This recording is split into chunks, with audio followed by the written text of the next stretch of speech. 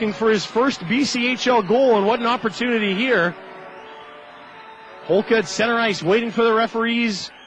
Now he's got the puck. Crossing in on the forehand in the slot, fakes the shot, fires, scores off the crossbar and in. Give him his first of the season.